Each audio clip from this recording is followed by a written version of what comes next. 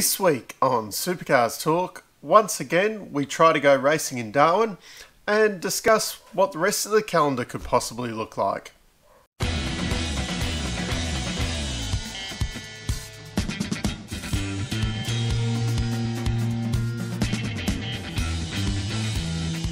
So, last weekend we were supposed to be racing in Darwin, and this was supposed to be a review video. Uh, but if we've learnt anything from 2020, is you can't predict the future; you can only look at the past.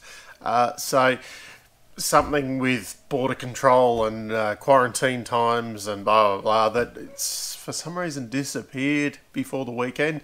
Uh, but the whole event has been postponed a week, and currently at this stage, we don't know. There's supposed to be two rounds in Darwin, and we still don't know whether it's going to be consecutive weekends or possibly a midweek race um, next week. Uh, apparently, there's a, a, gap in the football calendar at the moment. Um, apparently, the AFL has been running a game every day for like 30 days straight or something, and that finishes after next weekend. Um, and then there's no rugby ball happening either. Um, and apparently there's an election in Northern Territory the following weekend, so they don't want to run a race uh, with while they're having an election. Um, don't know why. It's not that hard anyway. Um, they have actually got fans going, so it's a little bit different to what would happen in. I don't even think we could have an election in Victoria at the moment because. Uh, not allowed to go anywhere. So, uh, anyway, beside the point, they're talking possibly having a midweek race to cover uh, a later in the day kind of thing uh, to fit in with TV and because the sun sets later in Northern Territory, unlike in Victoria where it sets about four o'clock in the afternoon, which also gets you down a bit when you're locked at home and uh, not allowed to go anywhere. Uh, try not to get down at the moment with all of this happening, Dave. So we're looking at two rounds in Northern Territory. Hopefully, this the first one is at least this weekend, and we get to see some racing. Then it's been confirmed going to Townsville for two rounds. Uh, so that's going to be August 29, 30 and September 5 and 6. The next confirmed event uh, after that would be Bathurst. Uh, Sandown, not going to happen at the moment. Uh, as I've stated many times, uh, uh, in Victoria, we're in quite a spot of bother at the moment. Not allowed to go anywhere and whatever.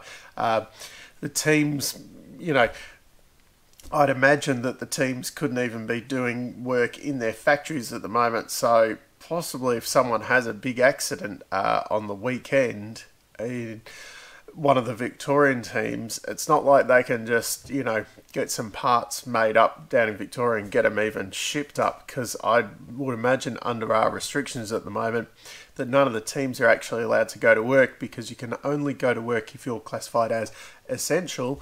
Uh, although there's a little bit of a possibly a loophole in there because you can still like car dealerships are still open to service cars uh, so maybe you could say that you're servicing your car and i you know i need a new rear spoiler or something like that.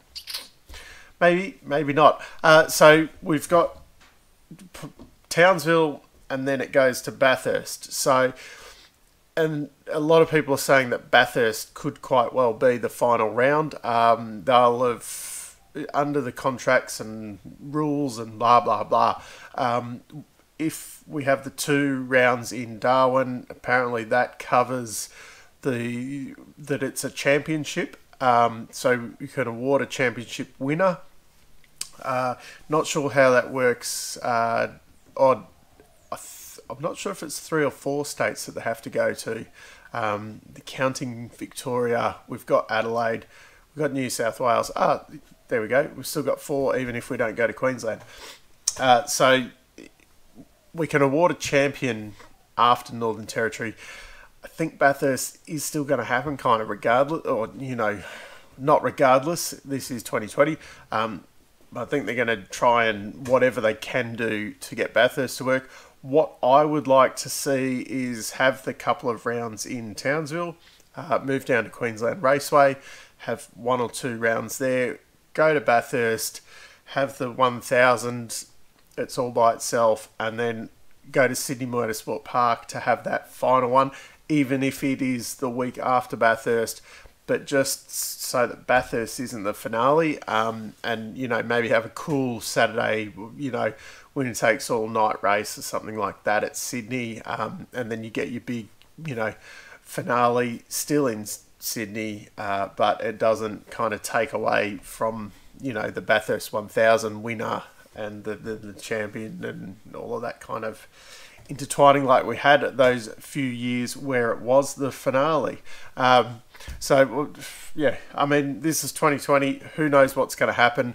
I did a preview for Darwin last week, and then, you know, by the time I, I think I made a joke about it uh, in that video that who knows what will happen by the end of the weekend.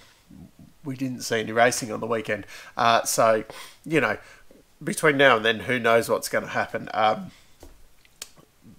last weekend, I went out for a bike ride and. Uh, before I came back home, you know, essentially the whole world had changed in Victoria. So um, things are just moving day by day. So even by the time I post this, might be totally different. Uh, hopefully there's some racing.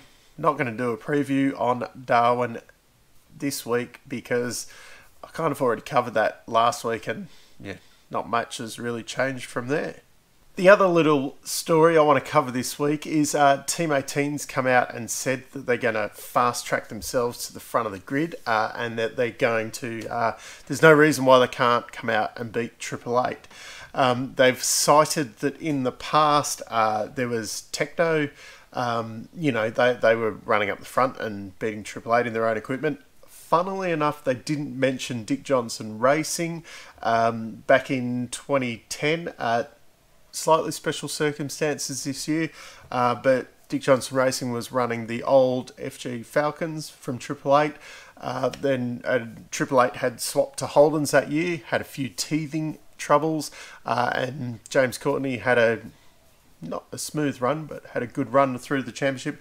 Um, and they mentioned Kmart Racing back in the big Evil Empire Walkinshaw days. Um, now, there's a few differences there to what's happening at Team 18 at the moment. Um, the, probably the the big two, in my opinion, uh, budget wise. Um, as far as I know, when Tekno was running Shane Van Gisbergen and beating Triple Eight on occasion, uh, they, he did finish second to the championship, but I think he was about 600 points behind Whincup that year. Um, yeah, so second was still a long way away from you know, challenging for the championship. Uh, but as far as I know, back then, Tekno was still being kind of underwritten by Jono's dad, whereas now I think it's standing on its own two feet. Hence, the results have gone down a long way. Uh, Dick Johnson Racing at the time was being underwritten by Charlie, uh, and they had reasonable sponsorship from Jim Beam. And I don't think at the time, with the Holden money and the Kmart money and all of that, I don't think there was, you know, any kind of money issues down in Clayton. Uh, the other thing, drivers. Okay, so Winterbottom, yeah, you won the championship. Is he on the same level as the top guys nowadays? Don't think so.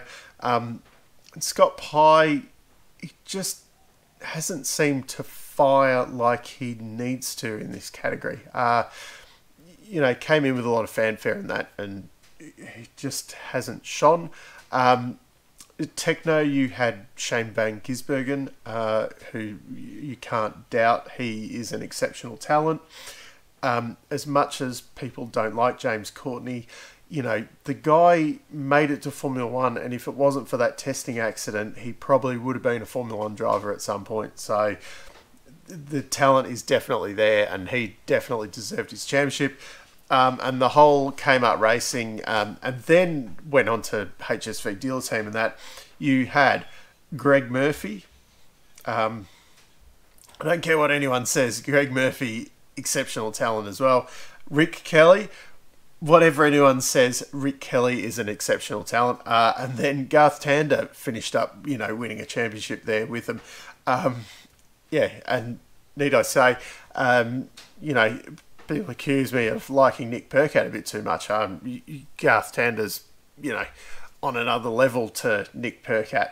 Uh, so th- those are some of the key differences. Also, you know, in those teams at those times as well, that you know, some of them had really, really exceptional people. Not to say like you know guys like Phil Keed and that. Um, Steve Henderson is another one there at uh, Team 18 at the moment. You know, they're not bad people, but have they got the budget to you know take it? And you're also coming up against you know Ludo at Penske with massive amounts of money, and you know Jeremy Moore and that at uh, Triple Eight with massive amounts of money. So you know you've you've got to beat them in some way, either having you know more brain power or more money, or probably both in this count because they don't have weak spots. Plus, you've also got Penske's got Scott McLaughlin, and Triple Eight has got Jamie Whincup and Shane Van Gisbergen. You know, they've got both barrels firing at that. Uh, so, you know, a little nothing story that cropped up during the week. Uh, you know, probably spent a bit too long ranting on about it, but I just thought it was interesting that they brought up, you know, two examples, didn't bring up the whole, um, you know, when Dick Johnson actually beat Triple Eight with their own equipment in the championship. Um, but yeah, I just yeah, I thought you know you, are getting a little bit carried away, uh, and this year's probably not the year to get carried away with statements like that. Uh, so that rounds off the week. Hopefully, we have you know a bit more of a normal week this week, um, as normal as it can be. And there's some racing on the weekend, and I can do a review next week. Um, and it could even be a really quick preview uh, before the second lot of racing up at Darwin. So until next time, I'll see you later.